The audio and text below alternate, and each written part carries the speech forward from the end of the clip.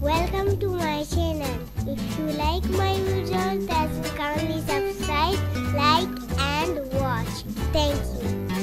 Bismillah ar-Rahman ar-Rahim. Welcome back. Dear students, today we will uh, discuss taper turning using tail offset method. So in this lecture I am going to derive formula for taper turning using tail offset method. The uh, ob objective will be our first uh, part of this lecture then we will discuss certain safety precautions then theoretical background and then we will derive mathematical derivation for this uh, tail offset method and at the end I will discuss certain procedure as well. So the title of the experiment is uh, taper turning using tail offset method or it is also known as set over method. So objective of this uh, experiment is to understand the taper turning using set over method or tail offset method. So in this uh, uh, experiment you will understand how you will produce a tapered part using set over method or tail stop tail stock uh, tail stock offset method the second objective of this uh, experiment is to understand the terminologies and term associated with set over turning so you will learn different terminology that is, that will be used in this experiment. And third objective is to learn about the machine component involved in set over taper turning. So this is a little bit uh, background or objective of this uh, tailstock methods or tailstock offset method the tool that are used in this experiment is that we will have a lathe machine then we will also have vernier caliper measuring ruler or we will have a workpiece that is made of steel mild steel or any material that is available in the workshop and the cutting tool. Before going or before performing the lab experiment every student should be know about the safety precautions that are involved in during the experiment. So here are certain minimum number of precautions that is given. You can also check it over internet or the brochures or chart that are available in your lab. So wear the appropriate apron and glasses while performing on any machine or lathe make sure the job and tool are properly fixed and before turning turning on the lathe machine. Any entanglement hazard should be properly checked and removed complete all paperwork before starting the machine or turning on the lathe machine. Electrical hazard should be considered and in case of any emergency or accident immediately inform the instructor and always perform the experiment before uh, in front of instructor or the lab uh, person that is available over there. Okay so we will move towards set over methods or set over method. So in this method you can see that uh, the taper turning by this method is to shift the axis of rotation of the workpiece at an angle to the lathe axis and the feeding the tool parallel to the lathe axis. So in this figure you can see that this is the live center clear. So this is the live center and it this is the dead center. And the workpiece that is mounted between these two center. And you can see that this live center and this is dead center are tail stock. So you can see the center of the work initial center of the workpiece was this one. And the tail stock or dead center is offsetted through this much distance. So this much distance. And due to this offset distance the new axis of this workpiece will be this and this is that half tapered angle. So again the taper turning by this method is to shift the axis of rotation of the workpiece at an angle to the lathe axis and feeding the tool parallel to the axis lathe so this is the um, cutting tool you, you can see you have to feed this tool in this direction and that will be parallel to the axis of the uh, sorry parallel to this axis of the uh, workpiece. Clear? So this uh, the angle at which the axis of rotation of workpiece is shifted is equal to half tapered angle. So this axis is shifted from this to this axis and this angle is known as half tapered angle.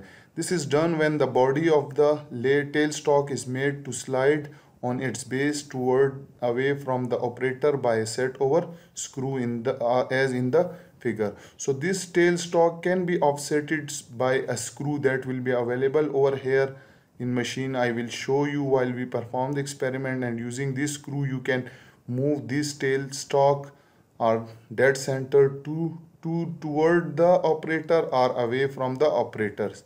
Clear? So in this way the tail stock is offsetted. So this method is used for turning small tapers over a long job. Now we will move toward derivation, mathematical derivation, how you will find the uh, set over distance. So let me draw, let's say for example, this was, let's say dead center and having axis, this one here and this is you, sorry, live center and this is your dead center.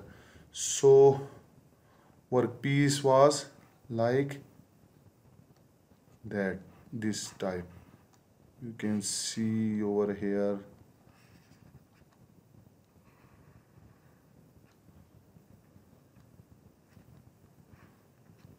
Clear? So initial both the axes are in line when you join these dead x center and live center they will meet at a point. Clear? Now let this is the total length of the workpiece. For example this is the total length of workpiece and it is represented as capital L. And this is the small l is the length over which uh, we will perform the turning operation. This small d is the uh, this small d is the diameter uh, uh, uh, smaller diameter of taper part and this is the larger diameter of tapered part now the question is that how much we will move this tailstock or uh, dead center so that we can get our desired uh, tapered part. So again this was initial thing when you move this dead center or when you move or offset this center to toward this. For example let this. So again this axis will also shift and the part will also shift that is represented over here. So this is live center this is dead center this is the total length of the workpiece that is represented over here. You can see from this uh, dead live center to till another point on the dead center this is the total length this is small l which is the tapered length. So again we will perform tapering over or this length. This is the small diameter of the tapered part and this is the larger diameter of tapered part. So initial this axis was initial this was the axis. When you move this dead center or tail tailstock to certain distance that is s given as s clear. So we are interested to find out what will be the value of s. So we will see in a while that how can we calculate this distance s. And when you shift this axis to another axis or when you move set offset this dead center to a new location and we move it through a distance s. So the new center will be this one. Now the angle through which this initial original axis was shifted to a new is known as alpha and this is known as half tapered angle. So we are interested to find out delta uh, s. So how we will find s? So again i will draw over here. So from point a if i draw a line solid line till point b and from point a to point c i will draw a solid line. There and from point b to point c i will draw a perpendicular line. So it will be triangle a b C with angle alpha. Again clear? So as we uh, know that sine of alpha is equal to BC over AB clear?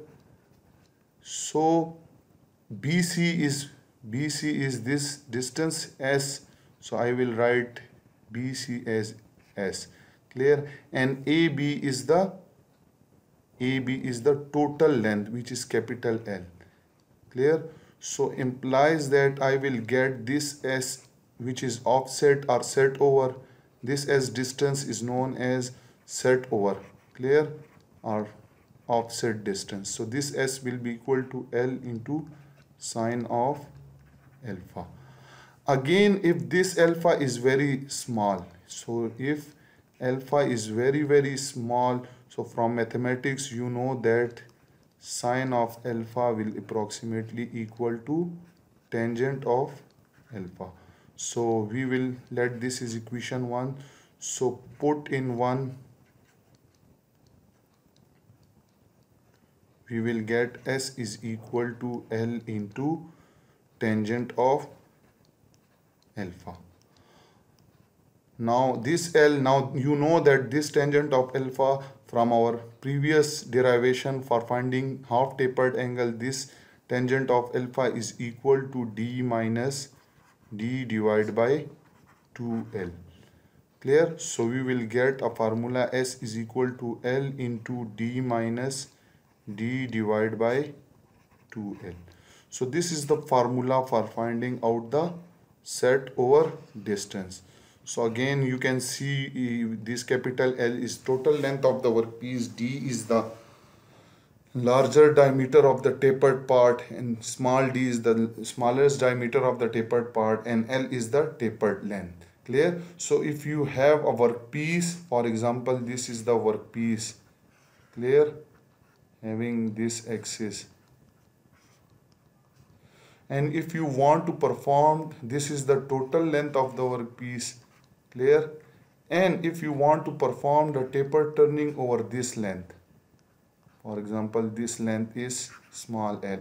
And you want to keep the diameter same as capital D clear? The same as workpiece and here you want a diameter of 0 so for example if you want to produce this type part this type tapered part so at the end this d will be equal to 0 or if you do not want here d so there will be a small diameter clear.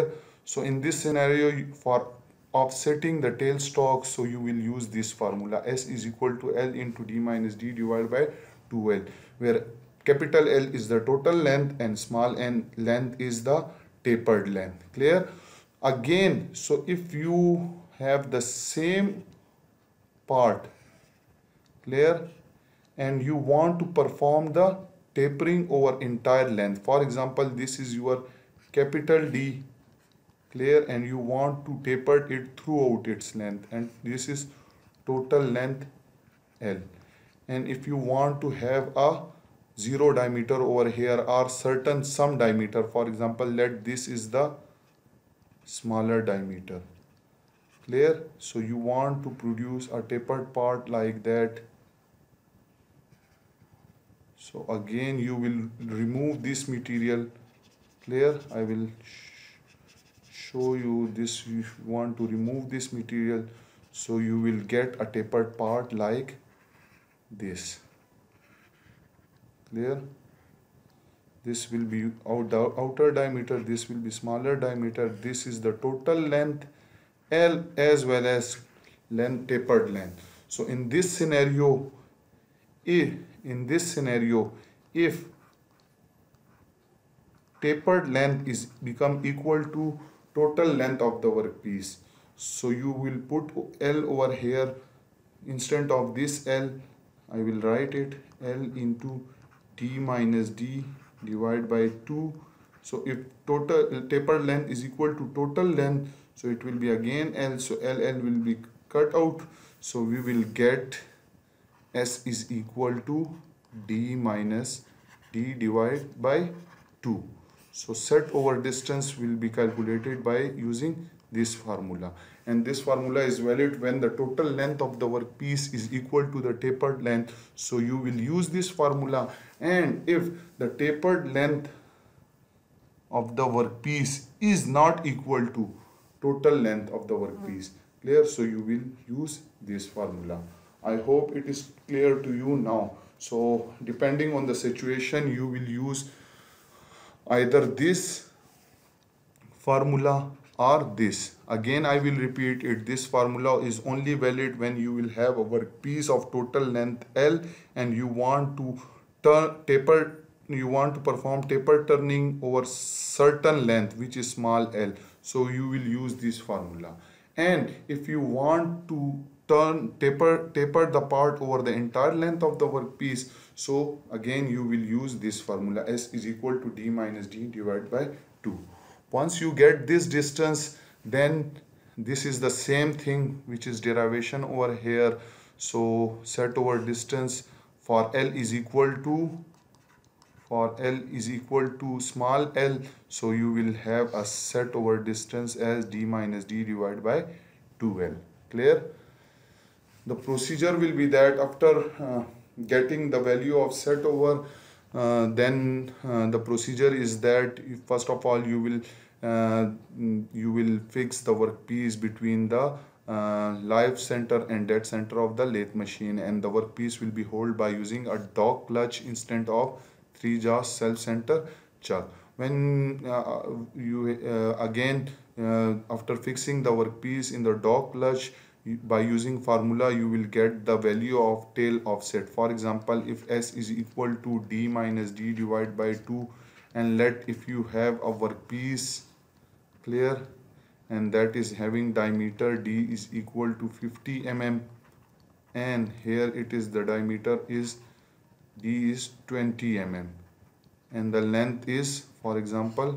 100 total you want to perform the taper on entire length. So s will be equal to 50 minus 20 divided by 100 so it will be equal to uh, 30 over 100 means uh, 0 will be 0 and 3 by 10 so it means 0.3 mm so you will have to move the tailstock over 0.3 mm when you will set the uh, tailstock by 0.3 mm so again it the axis will be no more. It will be a certain offset. Clear? So let's say this the new position of the workpiece will be this and the axis will also shift. And this will be your distance s over which you have shifted the tailstock. Then you will perform the experiment with the cutting tool that will move parallel to the axis of rotation of the workpiece and you will perform this experiment again and again uh, till you get your desired uh, dimensions. Remember that whenever you perform the experiment you will have a certain depth of cut and after certain after that depth of cut with complete one complete cycle you have to measure the end by using vernier caliper and then according to the difference needed you will also give again a depth of cut and you will perform the experiments. This process will go on until you get your desired dimension at the both end. Clear? So i hope this will be clear to you. Now we will perform experiment regarding the tail offset method in our classroom soon thank you for watching the video